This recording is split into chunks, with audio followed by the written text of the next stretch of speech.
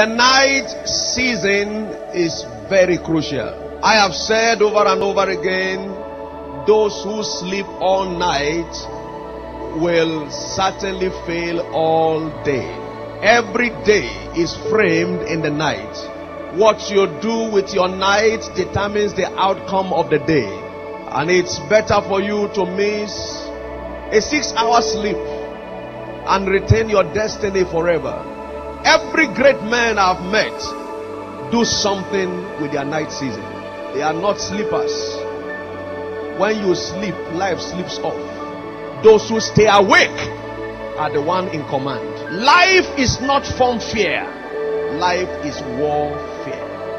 Those who give life gentleman's approach end as losers. Jesus declared that right from the time of John the Baptist, the kingdom of God suffers violence, and only the violent take it. So if you are not violent, you can't take.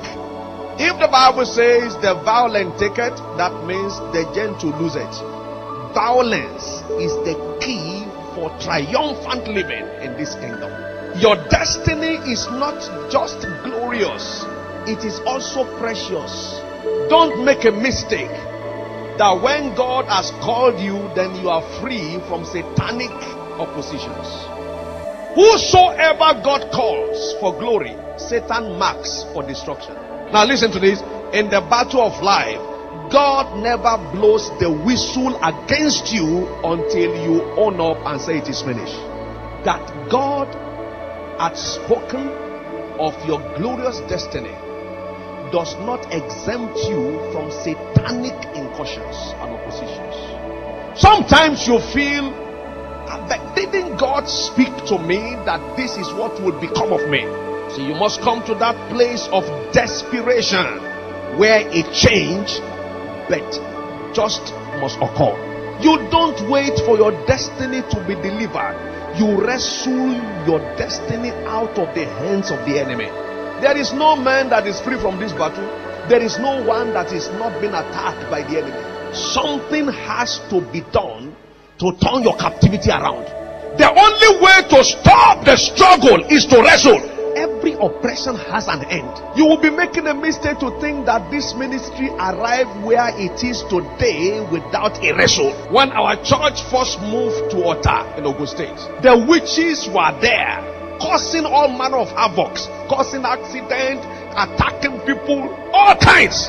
Prayer with fasting. Only God knows the volume of oil that Canaan land has sunk. Only God knows the volume of the blood of sprinkling. In the middle of the night, all those roads that people walk around now free of charge and enjoying themselves and enjoying the anointing of the Holy Spirit, they didn't come anyhow. There is no free lunch in life. You have watched enough. It is now time for you to wrestle.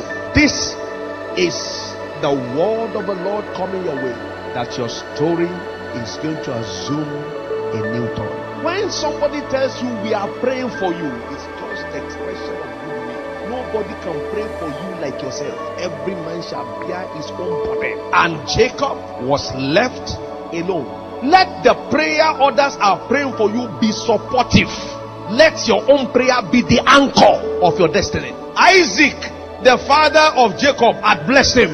He had prayed for him to be blessed.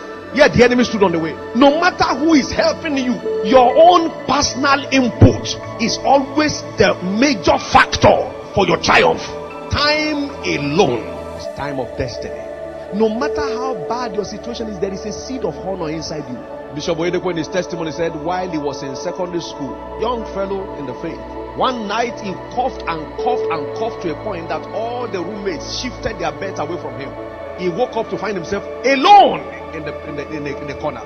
Everybody had shifted their bed. Wow! Tuberculosis. Who wants to catch it? He said he woke up and went outside of the hostel and stood before God and said, Lord, if you are the one who did all the miracles in the gospel and they did not lie against you, prove yourself now. That was how tuberculosis died. You need to come to a point of acceptance of responsibility. No matter what's happening around you now, there is a seed of greatness inside you. People may pommel your body, but they cannot kill the seed.